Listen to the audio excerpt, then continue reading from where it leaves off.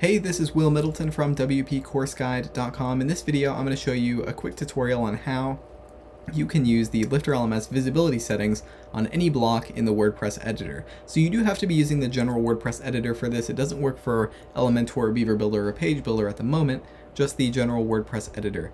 But if you click on any block in the WordPress editor on a course, it could be a post or a page or a membership or any post type that has this block editor, you have this enrollment visibility option on your blocks.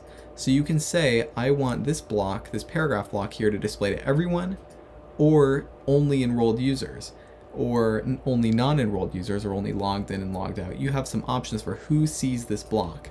A really common use case for this is the syllabus block there. So let me actually preview my course real quick and show you what I'm talking about. So by default, everyone can see my course syllabus here on my page if I have it like this.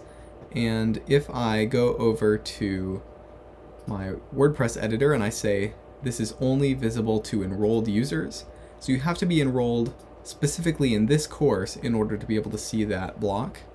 Go ahead and update that.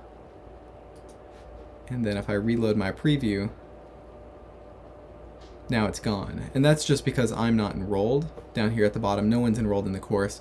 But if I go ahead and enroll myself, be will at go ahead and enroll myself will at wpcourseguide.com I go over here and I reload, now I'm enrolled in the course and now I can see the syllabus. That's just one example of using this enrollment visibility on blocks. And you can really break this down if you had sales content that you wanted to show to non-enrolled users, so maybe this is my sales content at the top, I say that this block is for non-enrolled users or visitors only, and then some things can be exclusively for enrolled users.